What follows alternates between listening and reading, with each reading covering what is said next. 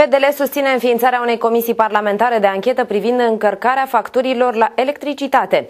Deputatul democrat liberal Ioan Balan a anunțat că PDL a demarat strângerea de semnături pentru înființarea acestei comisii. Deputatul Partidului Democrat Liberal Suceava Ioan Balan susține că este inacceptabil ca factura la energia electrică să fie umflată printr-un furt și nimeni să nu-și asume nicio responsabilitate, motiv pentru care va sensibiliza factorii de decizie guvernamentale printr-o inițiativă parlamentară. Balan a anunțat că Partidul Democrat Liberal a declanșat strângerea de semnături semnături pentru constituirea unei comisii parlamentare de anchetă referitoare la încărcarea facturilor la electricitate. Grupul PDL din Camera Deputaților a inițiat acest, acest lucru de formarea unei comisii parlamentare de anchetare a modului în care cetățenii, cetățenilor este umflat prețul la factura de energie electrică.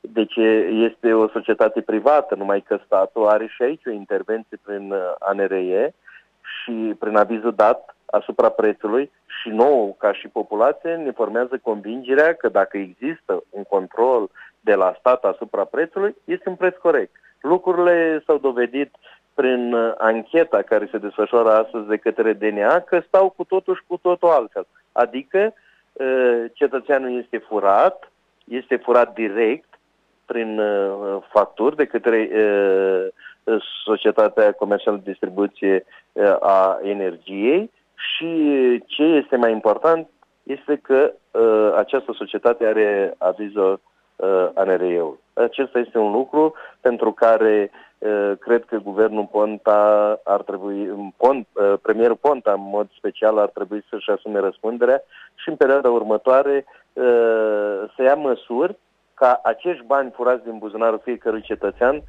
să se întoarcă înapoi. Nici sucevenii nu sunt mulțumiți de modul în care sunt calculate facturile la energie electrică și apreciază inițiativa parlamentarilor PDL. N-am calculat să văd cât de mult trebuie să plătesc, dar... Dar în general? Am... În general sunt cam mari, dar pentru mine ca pensionar, poate ăștia las care au salarii mai bune. O să ne dă bani înapoi, așa spun. Spun hoți ăștia, dar eu știu poate ne fură și așa. Eu cel puțin plătesc foarte mult. Chiar și luna trecută am dat o 1600, foarte mult. 160. 160 da. Ei, păi, da, da, da. Păi vechi, 1600, trebuie să ne dea bani înapoi. Noi dacă nu plătim, ne arde. A doua lună ne ia. Nu... Da, da. Și uite, ei ne-au luat hoț, ne-au luat de, de atâta timp, de câțiva ani tot plătim ca... Foarte mult. Foarte mult. Eu știu.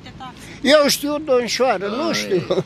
Dacă vrea cineva să, să înveți o școală Dacă... de, de hoți în România să învață. DNA a declanșat o anchetă la Enel Distribuție Muntenia, care ar fi încărcat facturile a sute de mii de abonați prin dubla taxare pentru certificatele verzi. Sunt cercetați pentru corupție vicepreședintele ANRE Claudiu Dumbrăveanu, Florin Gugu, director Enel, precum și omul de afaceri Gheorghe Ciubotaru.